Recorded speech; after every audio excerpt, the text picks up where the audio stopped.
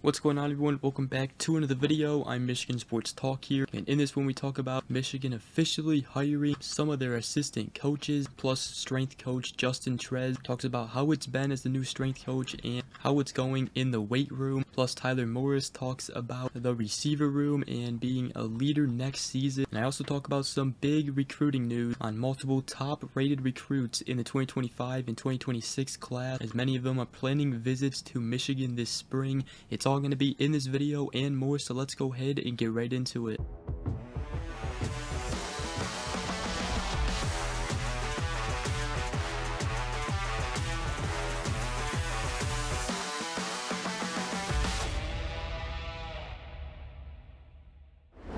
Alright, so in our last video, we talked about some news on coaching hires. So if you guys missed it, make sure you go ahead, watch that video as Michigan not only officially hired some defensive assistant coaches, but we also got some new analysts. But uh, Michigan has also officially hired Wink Martindale as its new defensive coordinator. Also, Michigan has officially hired Brian Jean Mary as their new linebackers coach. And now I believe the only coach we are waiting on right now is Michigan's defensive backs coach Lamar Morgan, as that is the only one that is not official yet.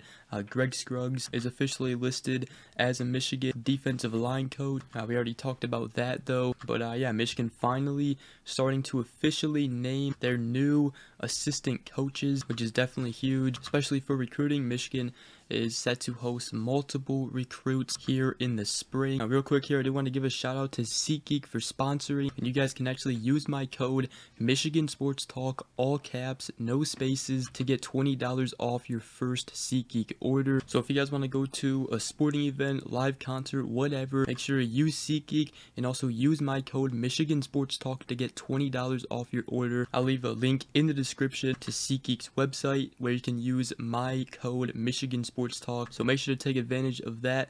But with that, let's go ahead and continue this video. Now, we are going to talk about some recruiting news later in the video. I first did want to talk about the strength coach Justin Tress as he was on the In the Trenches podcast with Jon Jansen and talking about the first day and the first training session. Said how I chose to address that was we trained. He said I didn't give them a speech at the beginning, we just trained and then I brought them up at the end and said, well, that was so different, wasn't it? And he said my message to them was the reason why it wasn't different is because of the standard they have set. He said at the end of the day, they make the choice each and every day. And he said as each day progressed from that point on, it was we're doing pretty much the same things, the same way with the same detail. And he said they're fully bought in. They've been rocking and rolling just like they have been in the past, and it's been good. He also said that it was a life-changing experience for him to get the promotion. He said it was a dream for it to come from my mentor, Ben Herbert, to take over after him, that's something. Said, at the end of the day, we built that thing together, and Herbert would say that as well. He also said the key is not a whole bunch has to change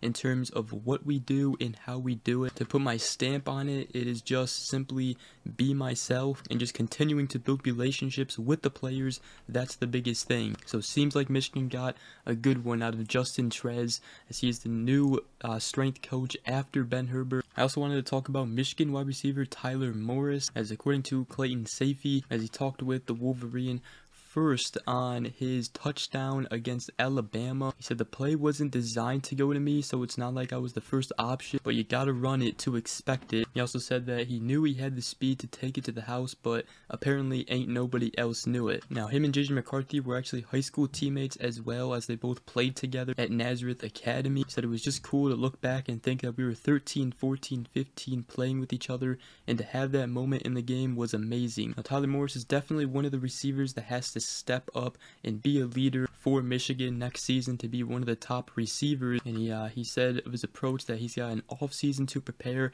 trying to get better in any way I can because I expect to play a different role than I had. He said just being one of the older guys now, having the leadership stuff in the receiver room and on the team, and all around just growing as a player. He also talked about you know others like Frederick Moore, Karmello English, and Semaj Morgan, and a lot of people have been having some high praise on Frederick Moore.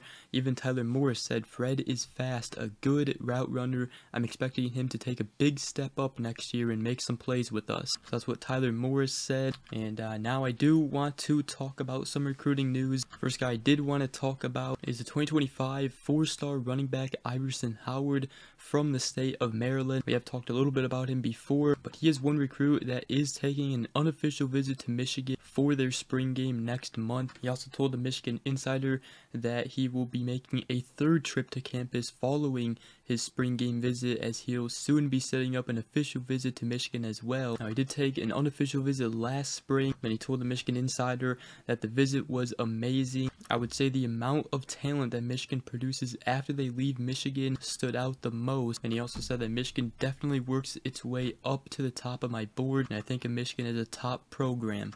I Also wanted to talk about a couple of 2026 prospects. The first one is the four-star offensive lineman Darius Gray. Now he isn't ranked on ESPN or 24/7 Sports, but he is ranked uh, in the top 100 on On3 ranking. And according to EJ Holland of the Wolverine, Darius Gray will be making his first visit to Michigan as he scheduled one to make an unofficial visit on April 18th. Now he also previously talked about Michigan and he said that they definitely impressed me. My goal is to be in the league, and when schools produce offensive linemen, that's what you want to be around. So it definitely catches my attention what they've done at Michigan. He also said that Michigan is definitely a program that will be back in the Natty really soon, and they are now the king of the hill. Then I also wanted to talk about the 2026 five-star safety Zach Fort from IMG Academy. He's ranked 19th nationally on 24/7 Sports composite rankings, ranked as a five-star. And he talked about Michigan and Sherrone Moore as he told EJ Holland of the Wolverine that whoever the head coach is doesn't matter to me, but I am looking forward to building that relationship with Sherrone Moore. Talking about Michigan winning the national championship, he said that was big,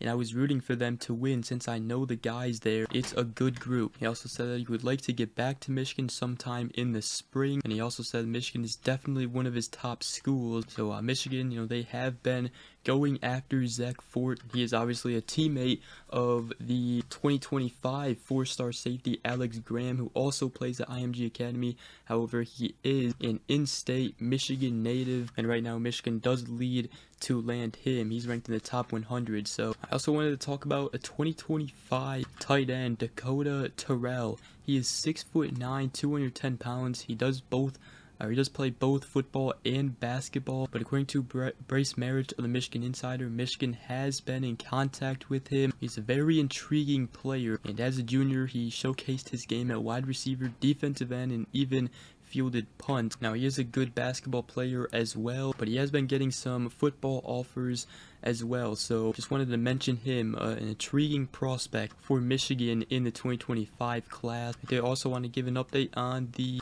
2025 five-star defensive lineman Nathaniel Marshall, ranked 23rd nationally on 24/7 Sports composite rankings and ranked as a five-star. Comes from the state of Illinois, goes to Fenwick High School. Michigan has been going after him for a while, as well as others like Miami, Notre Dame, Illinois, and others. But uh, he did tell the Wolverine that he doesn't have a Michigan visit set up for the spring, but he hopes to have one soon, as it would be huge to get him back on campus for another visit. But uh, yeah, Michigan set to host multiple 2025-2026 recruits here in the spring as the visits keep piling up, and it should be a big spring uh, especially for recruiting wise for Sherrone Moore and this new coaching staff. They need to get off to a good early impression on a lot of these recruits, especially for the 2025 class because there are a ton of top rated recruits that Michigan is going after. But uh, with that, that's going to wrap up today's video. Hope you guys did enjoy. If you did, make sure you guys go ahead, drop a like, comment down below, and subscribe for more if you are new around here.